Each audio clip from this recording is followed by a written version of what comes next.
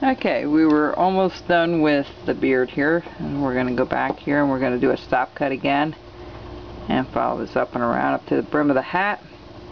I'll be very careful. And then we're going to cut that out on the bottom side and cut it a little bit of a V cut on the top, like a nice big V cut. Now I will be using a micro tool um, gouge, a V, a V, uh, only one um, the V tool here.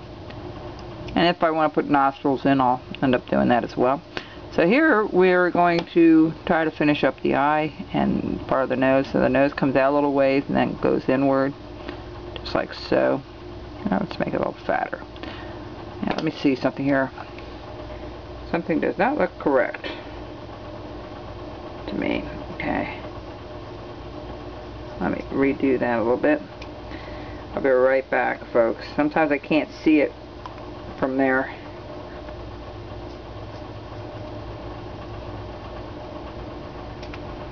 Alright.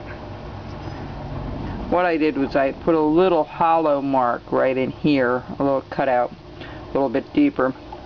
So what we're going to do here is we're going to take the knife, go straight in, do another stop cut up to the brim of the hat, or the side of the nose. See how I, how I have that in there? That's how I have it. And that's how deep it is because where your eye is along your nose, it's a, a very deep part of the face.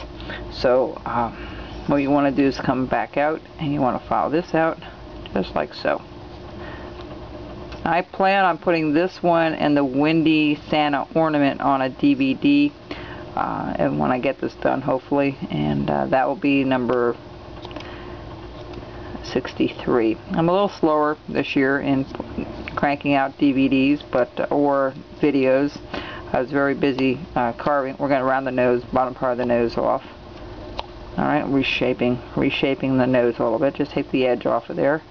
And remember, when you carve, you want to get all these rough saw marks off your carving. If you don't do it, and you go to paint the red, you're gonna it's gonna look very blotchy because that will soak up that the, the parts that are rougher and not hit with the knife, cut with the knife like I'm doing now, those areas will look darker when you go to paint. They'll soak up more paint when they're rough, okay? So you want to be careful of that and you want to make sure you clean everything up. Alright. Alright, look, it's looking good. Alright, it's coming up pretty good. So, with that said, uh, let's go back uh, here and we're going to kind of scoop this out a little bit. That's what I did on that one. We're going to just scoop this out just like the beard would be underneath uh, the mustache. So we're just going to shape this before we we actually cut it. See there's a little bit of a dip there. Alright, so we're going to take our pencil and we're going to mark off right here. Well, a, let's get rid of this rough stuff here. Let me let me take care of this first because that really irritates me that's there so that irritates me but it makes it easier if you get rid of it first. Carving is so much fun folks. There's you know with all my projects I'm just telling you there's so many variations you can do these Santas and things. Um, it really is uh, not limited you know it's unlimited what you can do. Every time I think I can't think of anything more to do with a block of wood ta-da, there's another one. So, it's like, wow. Oh my. Anyway, let's keep going here. We're going to give him a nice mustache. So we're going to bring this down from the side of the nose. And we're going to kind of loop this like that. And we're going to, this is one half of the mustache here, okay? We're going to have a nice loop and the rest of it's going to be tucked under the pointed part is going to be tucked underneath his um, his hat.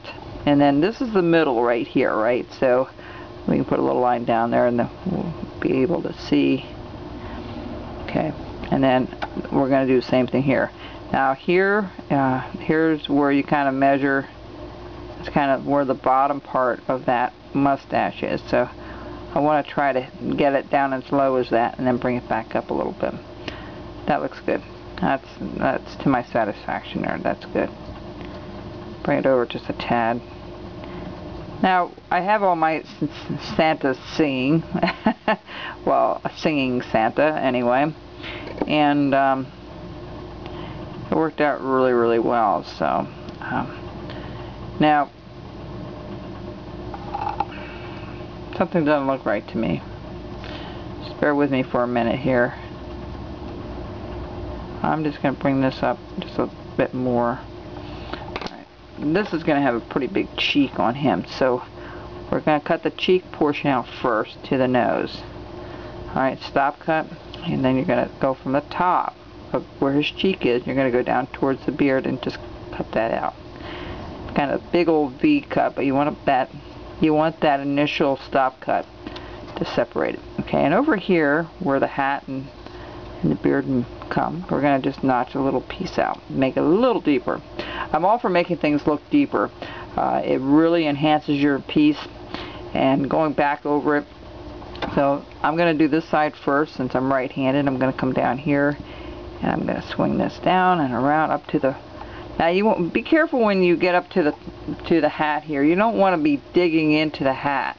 Okay, make sure your knife is tilted a little bit back when you do it.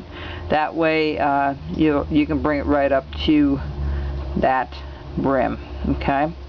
Same thing here. I'm going to just lean this down here to keep my hand out of the way. And, um, you know, if you don't get it real deep the first time, you can go back. Turn it. Uh, you can go back and do it again. But you can also go from when you get up close to it, you can turn the knife around and go from the bottom up.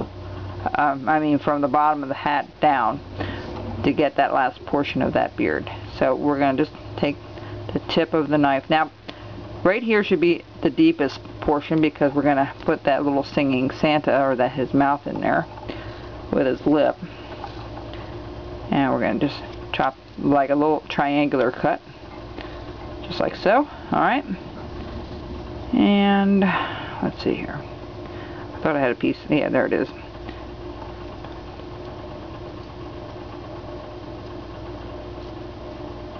Alright. You want it pretty deep right underneath there because you're going to be cutting away the, the edge of the beard. You know, you're going to round that edge off. I like taking the tip of the knife. Now when you do this, you want to kind of be careful that you're guiding it along that edge and not pushing it up and then cutting it because then you're going to have this all choppy at the top. So it's, it's really just learning the feel of your knife, how deep you're going and you only learn that, folks, by doing eh, the carving and carving a lot. You'll get a real sense of feel when you need to flip that thing around because you're going against the grain. Of course, the grain on this piece is going up and down. You know, the end grains are the top and the bottom uh, of the of the carving. But uh, as you can see, he's he's coming along pretty good. All right, we'll be right back.